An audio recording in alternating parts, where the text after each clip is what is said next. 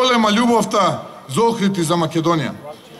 Тоа сакам да го илустрирам преку примерот кој што се случи овде, во овој град, преку двајца млади луѓе. Моите соработници имаа предлог во рамките на политичката кампања да се прикаже храброста, пркоста, силата и честа на нашиот народ, преку пливање, за кое треба фокус, концентрација, издржливост, мудрост, стратегија, какви што и се потребни на Македонија во моментот.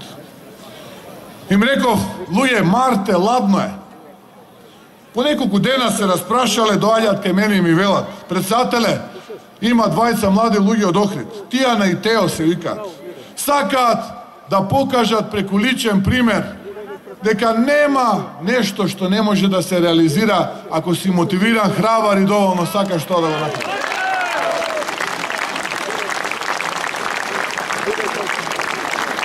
По долги консултации со медицински лица за ризиците и можностите, ги запраша Фитијан и Тео. Дечки, дали сте сигурни да го направите ова што сте наумиле да го направите, да пливате во води, во езерските води со температура пониско од 10 степени. Се завртеа и двајцата рекоа. Ова, ова што го правиме председател, ние го правиме за Македонија. Ова е нашата борба, борбата на нашата генерација. Ова е нашиот пример со кој сакаме да покажеме дека за Македонија се би сториле. Капа долу, секоја чест Тијане и Тео. Браво, дечки! Секоја чест и капа долу и се поклонувам. Тие двајца сакаа со собствен пример да покажат дека превземаат голема одговорност, исто како и нивната генерација. Се борат за идеали и принципи, веруваа во својата сила, не бега од предизвикот, се пуштија во него, знаеа дека е тешко, но така е во животот, така е денеска и во Македонија, многу тешко се живее во моментот.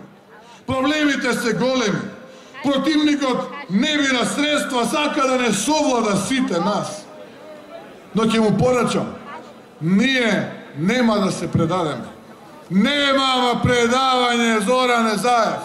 Одиме до крај и ќе те поразиме и на 21 и на 5 мај, а потоа и на предвремени парламентарни избори.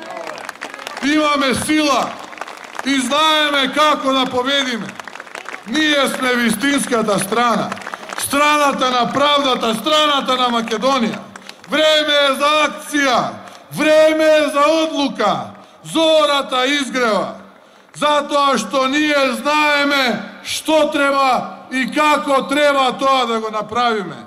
Да создадеме подобро утро. Да ги решиме проблемите и да не ги оставаме истите за нашите деца. Зората која изгрева не значи само нова надеж, значи и вистински вредности и вистинска благосостојба. Таа зора носи правда за секој еден од нас. Носи еднаквост, можности пред и над се подобри времења.